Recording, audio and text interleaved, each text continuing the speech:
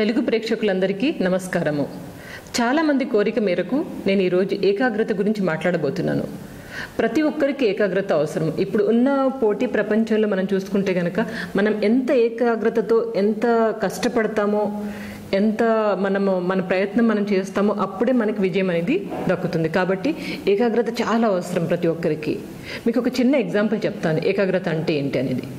ఒక అడవిలో ఏనుగు తన చెరుకు గడలు తింటూ ఉంది. పక్కనే ఒక ఈగ ఉంది. ఏనుగు ఏంటంటే దాని యొక్క చెరుకుడలు తింటూ దాని మీద కాన్సన్ట్రేట్ చేస్తూ దాని మీద ఏకాగ్రత తింటుంది. దానికి మనసు ఎటు వెళ్ళదు. ఓన్లీ దాని ఫుడ్ అది అంతే. కానీ పక్కన ఉన్న ఈగ ఏం చేస్తుందంటే కొన్నిసార్లు మురిక్కుంట మీద వెళ్తుంది. కొన్నిసార్లు అటు ఇటు తిరుగుతుంది కొన్నిసార్లు చెరుకు గడ మీద వెళ్తుంది కొన్నిసార్లు ఏనుగు చెవు దగ్గరకు వచ్చి వృధ చేస్తూ ఉంటుంది. సో ఏనుగుకు ఇరిటేషన్ వస్తుంది చాలా చిరాకు వచ్చేసి ఈగతోటి. ఎందుకు నువ్వు కుదుటుగా కూర్చోలేవు? నాలాగా నేను తింటున్నాను నేను ఒక పని మీద ఏకాగ్రతతో పని చేస్తున్నాను ఏదో ఒక చేస్తున్నాను. నువ్వెందుకు అలా ఉండవు? అని అంటే అప్పుడు ఈగ అంటే నా మనస్తత్వమే అంతా. నేను ఎక్కడ సరిగ్గా కూర్చోలేను. ఒకసారి ఇక్కడికి వెళ్ళాలనిపిస్తుంది ఒకసారి అటు వెళ్ళాలనిపిస్తుంది. అట్లా నా మనసు అనేది పరిపరి విధాలు అనేక విధాలుగా వెళ్తూ ఉంటుంది. ఇది నా మనస్తత్వం అంటుంది. మనం ప్ర ప్రస్తుత ప్రపంచంలో ఇలాంటి వాళ్ళని చాలామందిని చూస్తుంటాము. ఏ పని మీద ఆసక్తిగా శ్రద్ధగా ఏకాగ్రతతో వాళ్ళ యొక్క పనిని సరిగ్గా చేయలేరు. కానీ మిగిలిన వాళ్ళు ఉంటారు కొంతమంది. వాళ్ళు వాళ్ళు చాలా మంచి పట్టుదల గల వ్యక్తులు. పట్టువదని విక్రమార్కుల్లాగా వాళ్ళు ఏ పని అయితే అనుకుంటారో ఆ పనిని విజయం సాధించేదాకా దాని మీదే ఫోకస్ చేస్తూ దాని మీదే కాన్సన్ట్రేట్ చేస్తూ దా సక్సెస్ పొందేదాకా వాళ్ళు ఊరుకోరు. ఇలాంటి వ్యక్తులు కూడా ఉన్నారు. ఇంకొక ఎగ్జాంపుల్ చెప్తాను మీకు. ఒక అడవిలో పది మంది పిల్లలు పది మంది పిల్లలు కూర్చొని ప్రాక్టీస్ చేస్తున్నారు విలువిద్యని. బాణాలతో కుండని అక్కడ పది కుండలు పెట్టి ఆ పది కుండల్ని కొట్టడం అనమాట సో అది విలు విద్యలో ప్రాక్టీస్ చేస్తున్నారు. అప్పుడే స్వామి వివేకానంద దగ్గర అటు వెళ్తున్నారు. వెళ్తూ వెళ్తూ పిల్లల్ని చూసి చాలా కష్టపడుతున్నారు పిల్లలు. ఎందుకు ఎందుకు కొట్టలేకపోతున్నారు ఆ కుండల్ని అని చెప్పేసి స్వామి గారు అంటారనమాట. నేను ట్రై చేయనా? అంటే మీకు వచ్చా ఈ విద్య అనేసి. అంటే పిల్లలు నాకు రాదు కానీ నేను ట్రై చేస్తానని చెప్పేసి స్వామి వివేకానంద ఆ విల్లు విద్యను తీసుకొని విల్లుని తీసుకొని ఒక్కొక్క కుండని వన్ బై వన్ చక్కగా గురిపెట్టి కొట్టేశారనమాట ఇప్పుడు పిల్లలంతా మంచిగా క్లాప్స్ కొడుతూ సంతోషంగా చప్పట్లు కొడుతూ అరే స్వామి గారు చాలా బాగా కొట్టారే మీరు ఎలా చేస్తారు అనేసి అంటే ఒకటే చిన్న మాట అంటాడు ఆయన. ఏంటి అంటే మీరు ఒక్క కుండ మీదనే దృష్టిని సారించండి.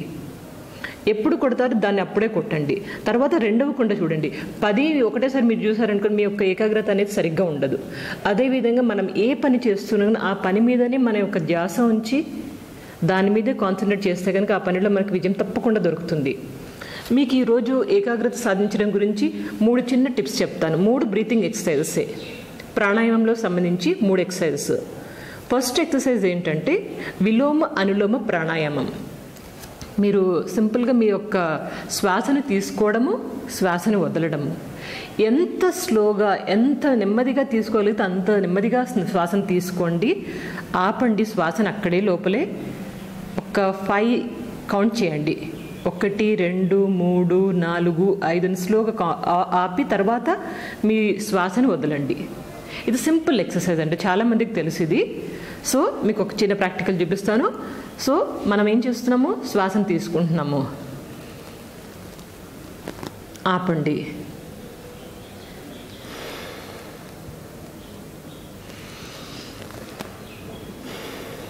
ఇలా సింపుల్ ఎక్సర్సైజ్ ఇది- ఒకటి గుర్తుపెట్టుకోండి.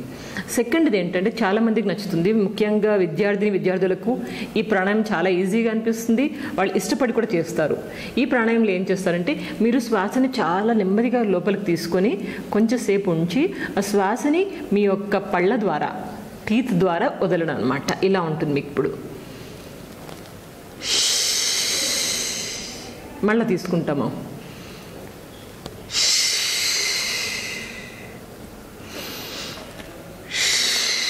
ఇలా ఇది కూడా చాలా ఈజీ ఉంటుంది అండ్ చాలా ఇష్టపడి కూడా చేస్తారు. ఈ ప్రాణాయామం ఒకటి చేయండి. ఇంకా నెక్స్ట్ భ్రమరి ప్రాణాయామం మూడవది. చాలా చాలా ఇంపార్టెంట్ ఇది ఈ ప్రాణాయామం. ఇది చాలా ఈజీగా చేయొచ్చు అండ్ దీనివల్ల మీకు మంచి ఫలితాలు కూడా తొందరగా దొరుకుతాయి.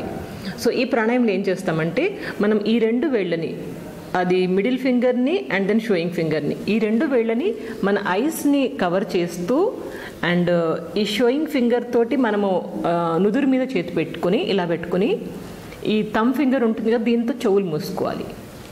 చూడండి ఒకసారి ఇది. ఇది ఇలా పెట్టి చెవు మీద మూసుకొని తర్వాత మీరు భ్రమరి అంటే ఏంటి? తుమ్మెద. తుమ్మెద యొక్క గింకారం ఎలా ఉంటుంది?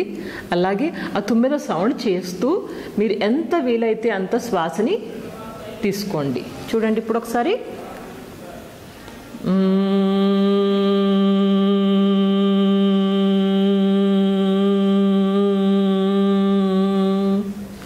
ఇలా చేయండి. ఈ మూడు ఎక్సర్సైజ్ చేసినాక ఈ మూడు బ్రీతింగ్ ఎక్సర్సైజ్ చేసినాక ఒక్కసారి మీరు హ్యాండ్స్ని ఇలా రబ్ చేసుకొని ఇక్కడ అండ్ కళ్ళ మీద పెట్టుకోండి. ఒకసారి పెట్టుకొని చాలా ఫ్రెష్గా ఫీల్ అవుతారు. రోజు ఒక ఐదు నిమిషాలు ప్రా ప్రాక్టీస్ చేయండి. ఐదు నిమిషాలు మీరు సమయాన్ని కేటాయించగలిగితే కనుక మీ యొక్క ఏకాగ్రత అనేది చాలా పెరుగుతుంది. సో చాలా మంచి ఎక్సర్సైజ్. మనం అనుకుంటాం చాలాసార్లు ఇది చేయాలి అది చేయాలి అనేసి. చాలాసార్లు మనకు విజయం వస్తూ ఉంటుంది. మనం ఎక్కడైతే బాగా కాన్సన్ట్రేట్ వర్క్ చేస్తామో అక్కడ విజయం వస్తుంది. కానీ కొన్నిసార్లు మాత్రం మనకి అపజయం వస్తుంది. విజయం రాదు. అలాంటప్పుడు మనము చింతించాల్సిన అవసరం లేదు. ఓడిపోయామంటే దాని అర్థము మనకు రాదని కాదు. ఓడిపోయామంటే అని అర్థం మనకి ఏంటంటే దాన్ని ఇంకా నేర్చుకోవాల్సింది మనకు చాలా ఉంది అని అర్థం. ఏమంటారు మీరు? సో మీరు ప్రయత్నించండి ఏ విజయంలోనే ఏ ప్రయత్నాన్నైనా మీరు సక్సెస్ఫుల్గా మీరు సాధించగలరు. నేను చాలా వీడియోస్ అప్లోడ్ చేశాను యూట్యూబ్లో.